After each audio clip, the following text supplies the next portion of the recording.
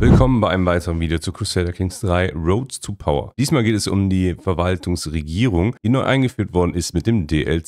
Sie bietet einiges und auch ziemlich coole Feature, die allerdings etwas verpackt sind und manchmal etwas überwältigend wirken können, gerade für neue Spieler, aber auch ehrlich gesagt für Veteranen. Deswegen will ich in diesem Video einmal auf die verschiedenen Punkte eingehen, grob zusammenfassen, wie man denn mit dieser Regierung arbeiten kann, was so die Vor- und Nachteile sind, was aber auch die wirklichen Highlights sind und weswegen ich denke, dass diese Regierung einen sehr guten Platz auch bei den anderen drei Regierungen gefunden gefunden hat, also Stamm, Feudal und Clan. Beginnen wir mit etwas Grundsätzlichem. Wenn ihr das Spiel startet, könnt ihr in jedem Zeitalter 867, 1066 oder 1178 der Verwaltung spielen. Allerdings gibt es natürlich nur eine Position, die automatisch eine Verwaltungsregierung hat. Um das zu sehen, könnt ihr einfach hier unten auf Plus gehen, geht auf das Regierungssymbol hier oder drückt SCRGQ und dann könnt ihr erkennen, wo welche Dinge zu finden sind. Und ihr seht schon, Verwaltung findet ihr nur im Byzantinischen Reich, also im Oströmischen Reich. Das ist natürlich auch so gedacht. Der Flavor soll eben hauptsächlich daher kommen. Wichtig ist eben dabei, dass ihr aber die Möglichkeit habt, verschiedene andere Regionen automatisch auf Verwaltung umzustellen. Und da kommen wir aber gleich auch nochmal zu, ihr könnt die Regierung auch selber im Spiel annehmen. Gehen wir erstmal hier in die Spielparameter hinein, dann erkennen wir, dass wir hier unten eine Liste haben von verschiedenen Reichen, die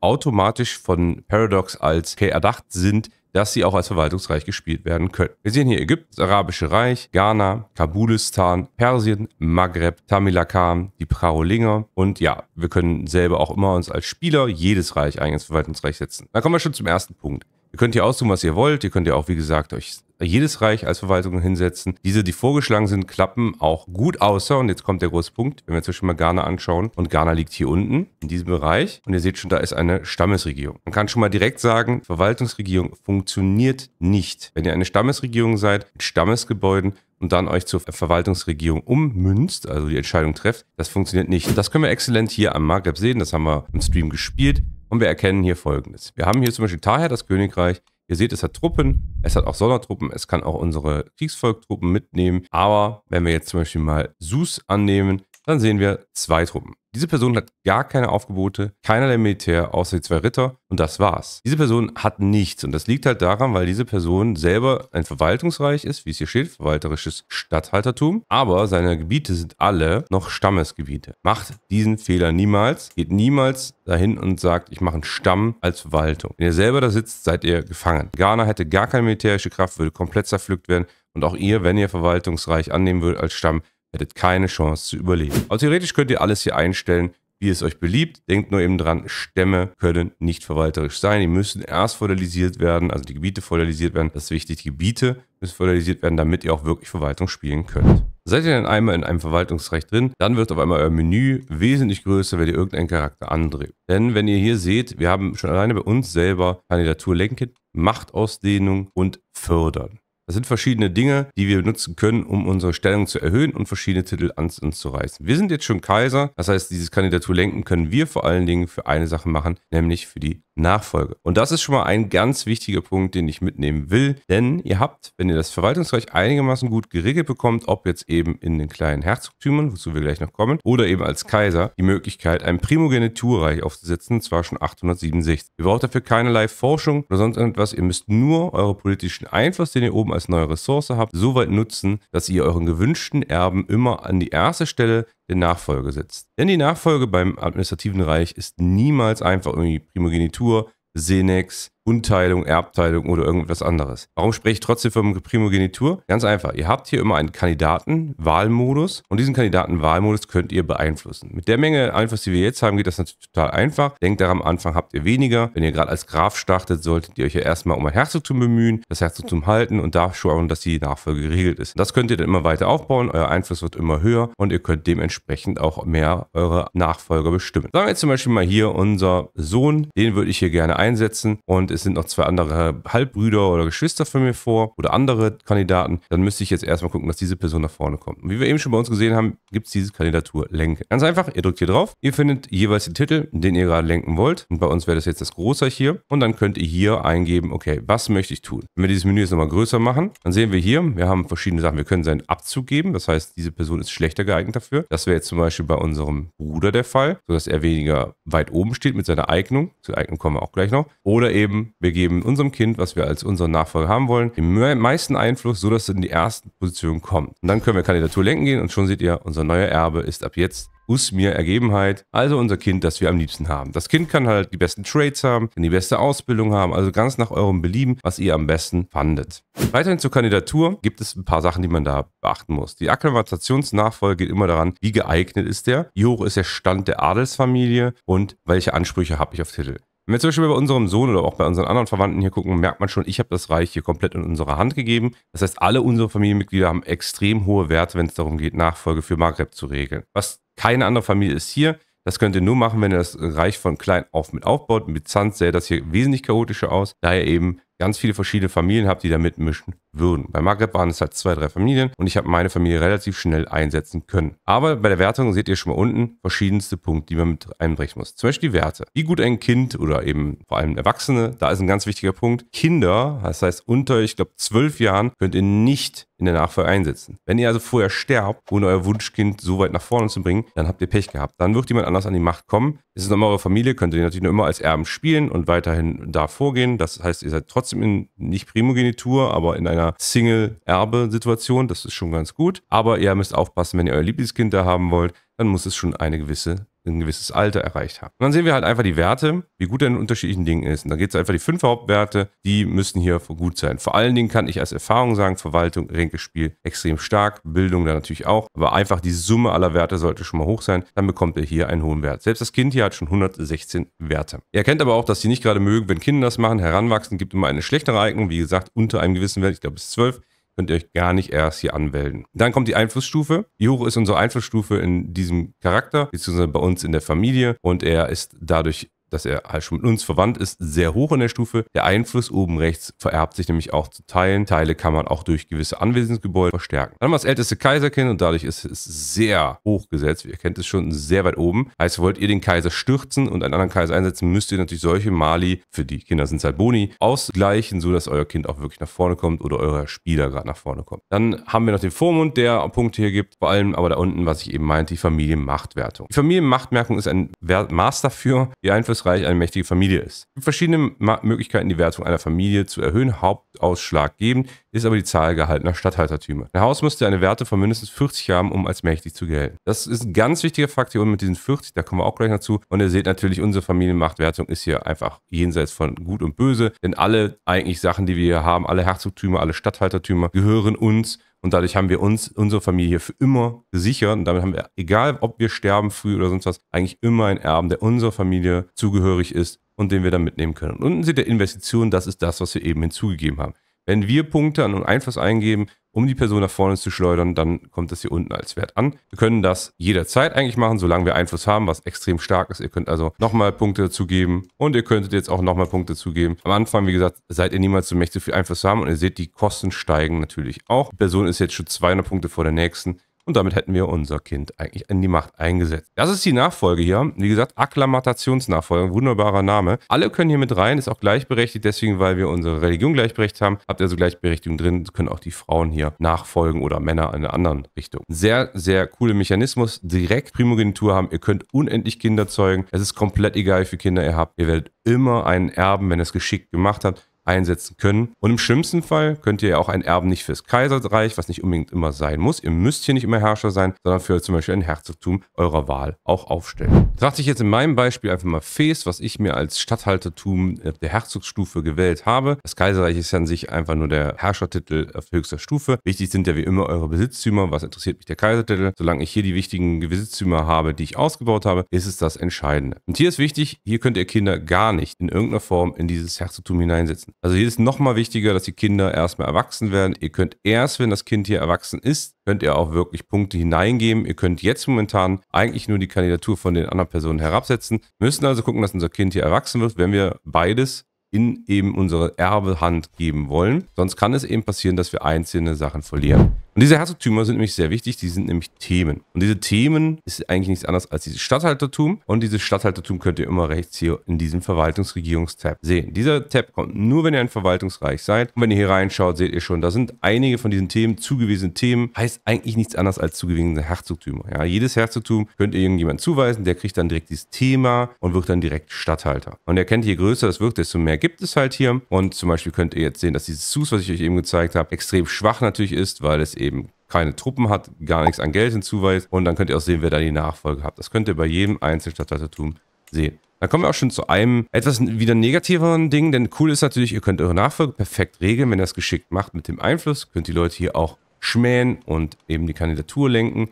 Könnt Ernennungsunterstützung auch erbeten, dass diese Person zum Beispiel auch sagt, okay, ich möchte meinen Uzmir, den ich jetzt finden müsste, könnte es mir da vielleicht unter die Arme greifen, nehme jetzt einfach mal irgendjemand anders. Und dann beim dem jeweiligen Emirat, was ich halt haben will, oder beim Kaiserreich, dann könnt ihr, wenn ihr, der euch mag, auch hier die Punkte mit eingeben. Und wenn ihr jetzt hier draufklickt, könnt ihr immer direkt diese Aktion sehen. Ihr könnt die Verwaltung hier anpassen. Ihr könnt oben die Vasallenanweisungen geben, zum Beispiel rekrutieren mir jetzt Kriegsvölker. Ihr könnt Entwicklung verbessern und andere Dinge, wie ihr sehen könnt. Könnt ihr jedes eins von diesen Themen anklicken und seht immer oben, was sind die verschiedenen Optionen, die ihr habt. Ihr könnt die, Anerken die Ernennung auch aberkennen. Das seht ihr wie beim Aberkennen von Titeln. Würde er annehmen oder nicht. Wenn nicht, dann würde er natürlich sich erheben und Krieg gegen euch führen. Das kennen wir ja mittlerweile auch. Ihr habt das hier übersichtlich in diesem Menü dann da drin. Wenn ihr nicht Kaiser seid, ja, dann seht ihr trotzdem alle Themen, die es gibt und wie gut deren Verwaltungskraft ist, was ihr hier unten in dieser Statthalter-Effizienz seht. Und ihr könnt auch sehen, welche Leute das jeweils regieren, wer da jeweils wichtig ist, wer da gerade eine Rolle spielt und welcher von den Personen vor allen Dingen auch dann recht mächtig ist. Und ihr seht auch hier zum Beispiel, die sind nicht besetzt, weil ich da noch keinen eingesetzt habe. Ergänzend dazu kann man sagen, dass diese Symbole, ob sie rot oder grün sind, bedeuten, dass irgendwelche Nachfolgekandidaten gesichert sind. Das heißt, ich habe diese Kandidaten auch eingesetzt, beziehungsweise die sind auch konform zu unserer Nachfolge.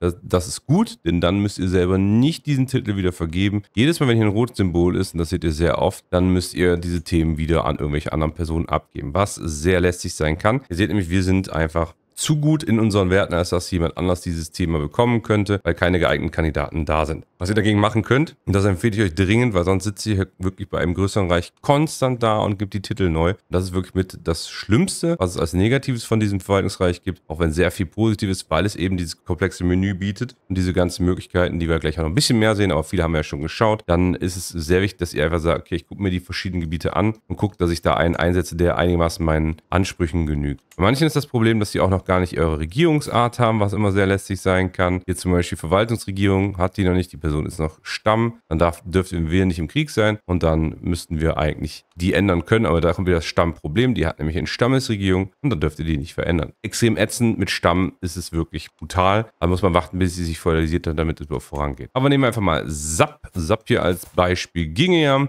Nur ihr seht, diese Leute sind einfach nicht geeignet. Das heißt, ihr müsst jetzt gucken, dass ich ihn hier bei SAP Kandidatur lenken. Dann könnt ihr hier mal auswählen, wobei lenken. Dann geht ihr auf SAP. Ihr merkt schon, Micromanagement ist hier auf jeden Fall größer geschrieben. Geht auf SAP, gibt genug Einfluss aus, um nach vorne setzen. Und jetzt seht ihr hier statt des roten Symbols einen schönen Daumen hoch, ein grünes Symbol. Und damit vermeidet ihr, und ich glaube, das haben viele das Problem, ich hatte es auch jetzt in Maghreb, vermeidet ihr, dass diese Titel immer wieder in eure Hand zurückgehen. Sondern dann kommen die Kandidaten von selber ran, weil sie eine höhere Eignung haben als ihr. Dann müsst ihr dafür sorgen, dass eben diese roten Symbole, die ihr hier seht, verschwinden indem ihr jeweils immer mal wieder Einfluss abgibt. Da, wo halt ähm, leider Stammesreiche sind, so wie wir es hier sehen, ja, werdet ihr nichts machen können. Ihr seht das hier bei den, den Verwaltungsreichen, ist das relativ easy. Bei Feudal geht es auch noch, aber bei Stammesreichen werdet ihr immer wieder die Sachen zurückbekommen. Einzig positiv bei den Stammesreichen ist, die gehen euch aber auch nicht auf die Nerven. Die können niemals rebellieren mit ihren zwei Rittern. Von daher ist das vielleicht der Vorteil dabei. Natürlich könnt ihr vor allen Dingen auch, wie ich eben gezeigt habe, wenn ihr aufs Kaiserreich geht, einfach die Personen, die in der Nachfolge sind, direkt selber anklicken und alle Sachen hier, verschiedene Sachen ausführen. Ihr könnt zum Beispiel deren Regierungskunst untergraben, was auch dazu führt, dass die Wertung schlecht wird. Ihr könnt den Status herausführen, sodass ihr Einfluss stehlt. Ihr könnt, wie gesagt, auch schmähen. Dadurch wird die Person halt auch im Kandidatenwert schlechter. Das sind alles diese Komplotte, die politischen Komplotte, die dafür da sind, halt wirklich eure Stadthalter entweder bei Laune zu halten, herabzusetzen oder eure Nachfolge einzusetzen. Plus eben das Stadthalter absetzen. Das heißt nichts anderes als Titel eigentlich nehmen. Könnt aber auch natürlich die Regierungskunst stärken. Das könnt ihr aber wieder nicht bei Kindern machen, wenn ihr hier reinschaut. Das kommt erst später. Ihr könnt hier aber Regierungskunst unterweise machen, denn ihr habt einen neuen Titel, den ihr jetzt immer vergeben könnt. Und das wäre ein Statthaltertitel. Den können wir jetzt zum Beispiel bei dieser Person sehen. Der ist ein Statthalter gibt verschiedene Boni und wirkt sich wieder auf eure Stadthalterwertung aus, um eben besser in diesem Spiel zu sein. Und da könnt ihr halt wirklich anhand dieses Menüs alles eigentlich manipulieren, wie ihr lustig seid. Das ist ja so ein bisschen auch dieses Thema der Verwaltungsregierung. Müsst ihr aber nicht unbedingt, wenn ihr es im Griff habt, so wie ich es hier getan habe mit eurer Familie, seid ihr ja immer in der sicheren Seite und könnt es eigentlich so gut wie komplett missachten. Denn mein Tipp ist, wenn ihr dann alt seid und merkt, okay, jetzt langsam geht es Richtung Ende, ich bin nicht irgendwie durch einen Giftpilz gestorben bei 2%, dann versuche ich jetzt mein Erbe soweit zu regeln. Wenn ihr unendlich Einfluss habt, wie ich das jetzt hatte mit den 9000 eben, dann könnt ihr natürlich schon mal eure, Ein äh, eure Nachfolge regeln soweit dass wirklich kein anderer mehr hier hinterherkommen kann, so dass ihr euren Lieblingskind, Verwandten, wie auch immer hier einsetzt und das wirklich erbt. Wichtig ist aber immer diese Machbase durch die, durch die Themen, denn diese Themen, wie gesagt, beherrschen dann die Gebiete. Denn diese Person ist jetzt einfach der Herzog, also der Statthalter dieser Provinzen hier, der Krumerie zum Beispiel. Und diese beiden werden jetzt für immer von ihm gehalten werden und er hat dafür auch die Verwaltungshoheit. Und worauf will ich hinaus mit dem bisschen hinherspringen? Ja, hinaus will ich darauf, dass er mit all diesen politischen Sachen die wir eben gezeigt haben. Wenn ihr jetzt zum Beispiel diese Person hier anklippt, könnt ihr natürlich konstant als Kaiser alles manipulieren, was ihr wollt. Wenn ihr zum Beispiel sagt, das ist euer Lieblingskandidat hier jetzt von SAP, dann könnt ihr seine Regierungskunst fördern, indem ihr den unterweist. Ihr könnt ihn aber auch schmähen, um eben seine Kandidatur schlechter zu machen. Ihr könnt die Nachfolge regeln so, dass ihr einen Nachfolger drin habt, der einfach super coole Stats hat oder dass euer bester Freund ist oder eben irgendein Kind, was ihr da gerne haben wollt, was vielleicht die passende Religion hat. Wer hat der andere Kandidat, der dahinter wäre, nicht die richtige Religion oder hasst euch, wie zum Beispiel diese Person. Dann könnt ihr wirklich konstant mit all diesen politischen Ränkespielen halt spielen. Das müsst ihr aber nicht und das ist das ganz Coole. Ihr müsst es nicht tun, aber wenn ihr Bock auf Min-Maxing habt, könnt ihr hier reingehen und euch in jedem Vasallen, Statthaltertum den besten Vasallen und besten Nachfolger auswählen solange ihr eben genug Einfluss habt als Kaiser. Als Statthalter selber könnt ihr das natürlich auch machen. Ihr könnt nicht die Anweisungen geben und sowas wie ein Kaiser, aber ihr könnt auch da die Statusherausforderungen machen, ihr könnt den fördern, ihr könnt auch Leute dazu zwingen, sich abzusetzen, also abzutreten, weil ihr dann zum Beispiel jetzt hier wäre diese Person der Nachfolger und das wäre jetzt euer Charakter, dann könntet ihr den jetzigen Statthalter, das wäre jetzt hier dieser Badder, einfach dazu sagen, hör mal, geh bitte runter, dann muss man natürlich entsprechend Gravitas haben, also Stadtverwaltermacht haben, man muss eine Position haben, man muss besser sein, man muss sie vielleicht ein bisschen geschmäht haben. Dann könnt ihr auch Themen, also Statthaltertume, Herzogtümer, auch übernehmen innerhalb des Reiches und so eure Macht immer weiter ausbauen, ohne direkt Kaiser zu sein. Das kann der Kaiser hier jetzt natürlich nicht direkt, weil der Kaiser selber halt dafür alles andere hier lenken kann. Noch kurz zu dem, was wir eben hatten, Provinzverwaltung anpassen. Auch da könnt ihr herumspielen. Auch das ist wieder, passt zu dem gleichen Thema, nämlich ihr müsst es nicht. Ihr könnt es einfach auf Misch lassen. Habt ihr ein ganz balanciertes Ding. Habt ihr aber irgendeinen Grenzstatthalter, der halt sehr oft angegriffen wird und euch einen coolen Vorteil bieten soll, dann geht ihr hier zum Beispiel auf Grenzverwaltung. Dann könnt ihr den in den Krieg auch rufen, schaltet die Interaktion Ruf in den Krieg frei. Die ist dem Lehnsherrn, also uns als Kaiser erlaubt, die Vasallen aufzufordern, einem fremdländischen Titel mit Herzogtumrang den Krieg zu erklären. Was extrem cool ist, da könnt ihr einfach dann diesen Grenzherren fehlen, Krieg zu erklären und loszulegen. Sehr, sehr gut und schaltet den Kriegsherzogtum-Erweiterung frei. Dadurch könnt ihr euer Herzogtum eben, ja, wie der Name sagt, erweitern. Das könnt ihr mit anderen Sachen hier genauso machen. Ihr könnt zum Beispiel hier entsprechend der Kriegsführung wird die Statthaltereffizienz erhöht. Die können besser Militär ausheben und dadurch euer Kriegsvolk auch, wozu wir noch als letztes gleich kommen, besser buffen. Und bei Marine ist es, dass ihr deutlichen Küstenvorteil kriegt. Das sind 150 Prozent. Ihr könnt Ruf in den Krieg wiederstellen, was wir eben schon mal hatten. Und Marineherzogtum erweitern könnt ihr auch noch, wodurch ihr über Wasser hinweg dann Marineherzogtümer erobern könnt. Das könnt ihr alles selber bekommen, wenn ihr halt Herzog seid. Oder ihr könnt es halt als Kaiser verteilen, sodass eure Vasallen ganz euren Vorstellungen entsprechen. Genau das eben mit diesen Anweisungen auch. Das ist, wie gesagt, alles ein, das muss nicht, aber es ist halt die Möglichkeit, die dieses Reich bietet, im Gegensatz zu allen anderen Verwaltungsarten. Denn hier müsst ihr wirklich oder könnt ihr wirklich eure Vasallen zu euren Traumvasallen aufwerten, denen die Aufgaben zuteilen, die ihr wollt. Und das ist schon sehr, sehr cool und ergibt auch Sinn, denn das äh, rechnet sich danach auch alles in eure militärische Stärke ein. Aber bevor wir zur militärischen Stärke kommen, noch ganz kurz zum letzten, zum Adelsfamilien. Wir haben ja all die Provinzen hier. Wir sehen dann, hier sind die mächtigen Adelsfamilien. In Byzanz sieht das viel chaotischer aus. Bei uns gibt es einfach nur uns mit 1385er Wertung. Und die nächste Familie, seht es hier mit Anzahl der gestalteten äh, Stadthaltertümer sind wir bei 900.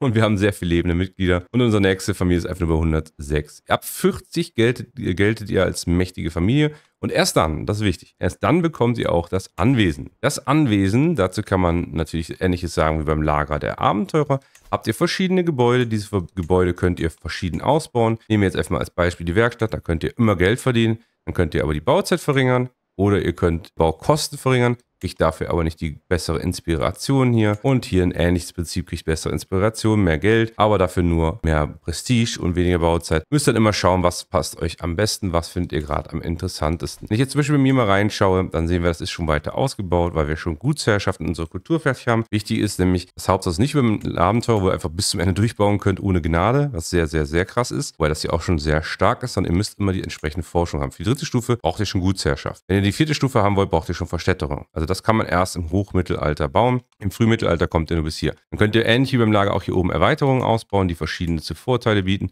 Da gibt es manche, die sind halt besser, manche, die sind schwächer. Zum Beispiel die auch ein bisschen Bekanntheit geben, ein bisschen Verwaltung dazu, sehr stark. Kann man aber nur mit dem Vermächtnis, das neu hinzugekommen ist, freischalten. Dann gibt es was ganz Standardmäßiges, wie zum Beispiel hier das. Einfach nur steht, die Kosten sind günstiger vom Festmahl und der Meinungsgewinn kommt hinzu. Und so könnt ihr über die Generation, das Ding geht nicht kaputt, solange ihr eine mächtige Familie bleibt. Wichtig, ihr müsst eine mächtige Familie bleiben und verwalterisch bleiben, nicht Clanart oder Feudal annehmen oder sowas, sondern hier drin bleiben, bleibt das konstant in eurer Hand und eure Familie bzw. euer Nachfahre wird dieses Anwesen auch immer übernehmen. Und ihr habt da, wie gesagt, ganz viele tolle Möglichkeiten, euch anzupassen, Entwicklung zu pushen, richtig viel Geld zu generieren. Also wir generieren hier wirklich, ihr seht es, wir sind hier 103 drin. Wir haben wirklich konstant immer über 1000 gehabt. Wir haben schon viele Söldner angeheuert, alles. Das geht sehr, sehr gut, macht sehr viel Spaß. Ist auch sehr belohnt, auch wenn es nur ein paar Klicks sind, ist es sehr belohnt, sich zu überlegen, was könnte ich hier anbauen, wie kann ich mein Geld, meine Entwicklung fördern. Ich würde schon sagen, dass das Anwesen sehr stark ist, auch schon ein bisschen im Balance ist in der Weise, wenn wir überlegen, dass wir 17 pro Monat haben und wir haben alle Armeen gerade ausgehoben, die wir haben. Wir sind nämlich gerade hinten im Krieg. 10.000 Armeen, die wir ausgehoben haben. Trotzdem sind wir bei 17 plus und wir sind halt bei Gebäuden, wie ihr sehen könnt, überhaupt nicht hoch aufgebaut oder sowas. Was bedeutet, dass wir einen extrem starken Vorteil durch dieses Anwesen haben. Es macht extrem Spaß. Ob ihr jetzt Herzog seid oder Kaiser oder König, seid total irrelevant. Hauptsache ihr seid eine mächtige Familie mit mindestens einer Wertung von 40 und seid dann hier mit drin, sodass ihr so ein Anwesen bauen könnt. Habt ihr einen massiven Vorteil, wenn ihr das gut ausbaut. Sollte man unbedingt mitnehmen, macht sehr viel Spaß. Und als drittes und letztes, zumindest, ich habe bestimmt irgendwas vergessen, aber generell als letztes sagen wir es einfach mal, kommen wir zu den Kaiserarmeen. Dazu habe ich ja auch schon mal im Video ganz kurz was gesagt. Und auch diese Mechanik ist halt einfach super cool. Jedes einzelne von euren Themen, das könnt ihr hier unten sehen, kann Kriegsvolk bereitstellen für die gesamte Regierung. Ich zum Beispiel persönlich habe hier im Großreich, weil wir jetzt gerade das Kaiserreich haben, habe ich noch nichts gebaut, hier verschiedene Möglichkeiten, kann sagen, ich würde gerne hier schweres Fußvolk reinsetzen, kann die erhöhen. Und jetzt kann jeder, jeder die kaufen mit Einfluss, sodass ihr die für den Krieg benutzen kann. Zum Beispiel sehen wir hier unten, habe ich diese drei schon gekauft. Blau bedeutet, ihr habt schon gekauft. Grün heißt, sie sind noch frei. Und rot heißt, die könnt ihr gerade nicht nutzen, weil die selber im Krieg sind. Ich kann jetzt hier auf der Herd gehen. Diese Person muss ich gar nicht fragen, also müsst keine gute Laune haben oder sonst irgendwas. Ihr könnt dann einfach hier auf Truppenanforderungen gehen, bezahlt die einfach ähm, die ein, den Einfluss und müsst die Truppen dann nur noch einfach mit eurer Flagge ganz standardgemäß hier ausheben. Sehen wir, dass jetzt diese Truppen, diese 55 Reiter hinzugekommen sind, plus das schwere Fußwerk, was wir jetzt gerade ausgehoben haben. Und jedes einzelne von diesen Themen, ne, das ist zum Beispiel Fes gehört uns ja, das Kaiserreich gehört uns, eigentlich auch mal das Königreich ist aber jetzt weggenommen. Und dann könnt ihr jedes einzelne von diesen Themen, diese Kriegsvölker bauen lassen. Und ihr seht zum Beispiel Talif Falt oder wie es heißt, die Armee ist schon bei 900 Kriegsvoll. Jetzt rechnet mal, wenn jede von euren Themen, die wir eben eingeschaltet haben, sagen wir einfach nur mal, um es mal fiktiv zu machen, 10 Themen machen jeweils drei Armeen A3, also 900, sagen wir jetzt einfach mal. Das sind 9000 Kriegsvölker, die ihr da bekommt und die ihr euch jederzeit für ein Apfel und Ei von Einfluss einfach anwerben könnt. Wir sehen hier bei Tlemcen sind 700, also ab 200 und Riff 400. Das heißt, ihr könnt hier eine Armee aufsetzen, wenn ihr gut euer Reich auch mit aufbaut und zusammen mit eurem Statthalter verwaltet und die dazu bringt, auch mit dieser Verwaltungsanforderung zu sagen, ich habe eine Vasallenanweisung hier in diesem Bereich, mach mal Kriegsvolk bitte, verstärken oder rekrutieren. Dann würde diese Person versuchen, mit seinem Geld vor allen Dingen das zu tun. Und dann hätten wir nachher vielleicht von Kanarischen Inseln oder hier von diesem Krumarie oder was auch immer, hätten wir dann neue Armeen. Und jedes davon würde immer stärker werden. Gerade halte ich persönlich sogar noch die Kanarischen Inseln. Ich kann also die Kanarischen Inseln auch selber hier einfach nochmal Fuß reinsetzen wenn ich Stadthaltertümer als Kaiser nicht verteilt habe, könnt ihr auch einfach selber tätig werden und sagen, okay, ich möchte jetzt rein tun. Einzige Sache, woran ihr denken müsst, ihr müsst die selber auch immer bezahlen. Also der Unterhalt, den ihr von euren verschiedenen Stadthaltertümen, die ihr haltet, habt, die müsst ihr auch wirklich selber bezahlen. Also wenn ich hier Kriegsverein sitze, muss ich den Unterhalt auch bezahlen. Aber es ist extrem stark. Wie gesagt, rechnet einfach mit 10 Stadthaltertümen. Oder rechnet mal, wenn ihr wirklich ein riesiges Kaiserreich seid, das hier noch über diese Sphäre weit hinausgeht, dann könnt ihr auch mal 20, 30 Statthaltertümer eingesetzt haben, habt die ein bisschen aufbauen lassen und könnt dann einfach mal rechnen, wenn ihr 30 mal 3, also 30 mal 9 sind es ja dann eigentlich rechnet, das ist sehr viel Truppen, die ihr da bekommt. Das sind 27.000 und das ist ja nur eine Erststufe. Ihr könnt ja mit den Forschungen, die ihr hier bekommt, auch weiter mehr Kriegsvolk aussehen, mit den Haustruppen zum Beispiel. Und dadurch kommt in dieser kaiserlichen Armee immer mehr zustande. Und das ist wieder etwas. Das könnt ihr komplett ignorieren und einfach warten, dass sie das aufbauen und euch einfach die neben der kommen. Ihr könnt aber auch aktiv sagen, dass es gute Leute sind, die viel Geld verdienen, die intelligent sind, die gut sind als Vasallen und aktiv hier auch die Truppen aufbauen und euch mit massiver Armee versorgen, die euch halt dann eine Armee gibt, die es sonst nirgendwo gibt. Deswegen ist auch Byzanz momentan so stark, denn ihr seht schon, was wir hier alles für Kriegsvolk haben. Sowas kann man sich schon leisten. Dazu kommt noch ein Video, das werdet ihr dann nochmal sehen. Sehr lustig. Aber ähm, man müsste halt viel mehr arbeiten. Ja? Man müsste halt viel genauer und spezifischer sein, sein Reich entwickeln. Hier haben wir nicht viel entwickelt und trotzdem haben wir all diese Truppen. Und das ist auch der Grund, warum Byzanz in jedem Safe-Game seit dem Patch sehr stark ist. Deswegen auch immer diese Truppen hier so ein bisschen hin und her schwanken, weil diese Truppen, halt mal da bitte, diese Truppen konstant von seinen Stadthaltern aufgebaut werden und die kann er dann jeweils immer herausheben. Bevor wir zum Fazit kommen, noch ganz kurz ein paar Kleinigkeiten. Nummer eins, ihr könnt die zentralisierte Verwaltung immer als ein Reich annehmen. Ihr müsst auf jeden Fall diese Dinge hier unten erfüllt haben. Ihr müsst groß genug sein, eure mächtigen Vasallen müssen euch mögen und so weiter und so fort. Das müsste auch eine Stammesregierung sein, wie ihr hier sehen denke, es muss entweder feudal oder Clan sein, dann kostet es sehr viel Geld und sehr viel Prestige und dann könnt ihr diese Regierung einfach annehmen. Das geht mit allen solange ihr eben diese ganzen Bedingungen hier unten erfüllt und kein Stamm mehr seid. Hier am Ende seht ihr nochmal, wie chaotisch das Ganze in Byzanz auch aussieht. Das wollte ich euch ja nochmal zeigen. Da sind natürlich viel mehr Familien, die sind auch extrem schlecht in ihren Wertungen. Um eben als mächtige Familie aufzusteigen, müsst ihr den erwähnten Wert haben. Deswegen waren bei uns halt so gut wie keine Familien da, die in irgendeiner Form Adelsfamilie oder mächtige Familie sind. Und am Ende, wenn ihr sehr viele habt, sind immer fünf mächtige Familien da zu finden. Bin mir nicht sicher, ich glaube, mehr kann es nicht geben. Ansonsten nur noch das Einzige, was halt Byzanz noch anders hat, ist, dass ihr auch Wagenrennen veranstalten könnt, aber nur wenn ihr der Kaiser seid. Also sonst bringt das gar nichts. Und da könnt ihr halt Einfluss, Legitimität und Gold gewinnen und könnt dadurch auch eben neue Hofämter einsetzen, die es sonst nicht gibt. Nämlich den Obereunuchen durch die griechische Kultur, den Buchmacher und den Wagenlenker, Vorstreiter. Die geben euch jeweils wieder Einfluss und können halt im Wagenrennen benutzt werden oder als Eunuch halt die Ränkespiel Dinge nochmal verbessern. Mehr ist, ja doch, es gibt schon noch andere Sachen wie besseres Kriegsvolk und so weiter. Die Zahlen ist auf jeden Fall sehr angepasst daran. Am besten eine Mischkultur vielleicht damit anstreben, wenn ihr ein Verwaltungsreich führen wollt. Oder eben nicht, müsst ihr nicht unbedingt. Um das Ganze nochmal zusammenzufassen, wir haben drei Ebenen, die das ganze Verwaltungsreich zu einem extrem tollen Spielplatz, gerade für Min-Maxer machen, aber auch für Leute, die so merken, dass gewisse Mechaniken sehr gut exploitet werden können, um halt einen sehr starken Machtzuwachs zu haben. Wir haben die erste Ebene, eben die Stadthalter, wo ihr euch wirklich mit jeglichem politischen Komplott und wenn es eben auch so ein Überfall auf so ein Anwesen ist, wo ihr die Leute schmähen könnt, deren Status herausfordern könnt, deren Einsetzung in verschiedene Stadthaltertümer manipulieren könnt, wo ihr euch richtig, richtig austoben könnt mit politischen Kalkül, Intrigen und den Lieblingsvasallen zum Nachfolger in seinem Lieblingsherzogtum zu machen.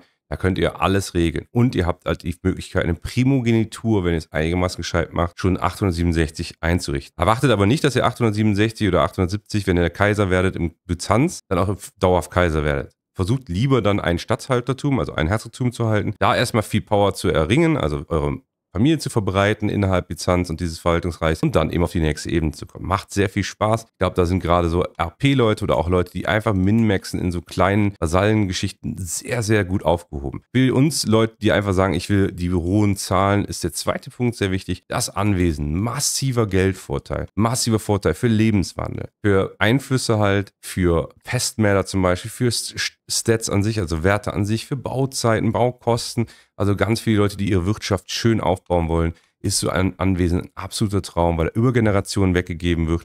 Das könnt ihr nur verlieren, wenn ihr keine mächtige Familie seid oder kein Verwaltungsreich mehr seid. Könnt damit sehr viel Geld scheffeln. Ein absolutes Highlight auch für die Leute. Und als drittes, die Kriegstreiber unter euch, halt eben diese Kaiserarmeen, die, wenn ihr gezielt versucht, gute Stadthalter einzusetzen, die euch konstant irgendwelche Truppen zuweisen, dann könnt ihr diese Truppen, wie ihr hier sehen könnt, mit ganz wenig Einfluss einfach alle nehmen und eine Armee aufstellen, wenn ihr relativ gut damit seid, die wirklich alles übertrifft und auch viel, viel stärker ist als alle anderen. Ihr müsst halt nur dafür sorgen, dass eure Stadthalter die auch stationieren können, dass eure eigenen stationiert sind und dass die Stadthalter auch genug Geld haben, um die zu unterhalten und aufzubauen, sodass ihr auch wirklich eine gigantische Armee aufbauen könnt. Mir gefällt das sehr gut. Ich habe es jetzt noch nicht 20, 30, 40 Stunden gespielt, aber ich fand dieses Potenzial hier extrem hoch und ich glaube, es ist wirklich was für sehr stark fortgeschrittene Veteranen, aber auch für Neulinge, weil man sich auch im Herzogtum sehr gut vor, also austoben kann, erstmal gemütliche Schritte gehen kann und halt für Veteranen super, weil man hier wirklich das kleinste bisschen rausholen kann, um eine extrem starke Armee, eine super Wirtschaft aufzubauen und halt wirklich sein Reich so zu gestalten, wie man selber will. Man muss beim Paradox einfach ein Lob geben, dass sowohl der Abenteurer, der zwar ein bisschen imbar ist, aber als auch dieses Verwaltungsreich eine sehr schöne Verzahnung im Spiel gibt, was wirklich viele neue Möglichkeiten bietet. Ich hoffe, es hat euch gefallen, das Tutorial. Wenn ja, dann lasst gerne ein Like da, abonniert, folgt bei Twitch oder kauft vielleicht mit meinem Partner bei Holy was. Da kriege ich auch immer einen kleinen Obolus von, da würde ich mich auch drüber freuen. Und ansonsten sehen wir uns beim nächsten Mal. Haut rein.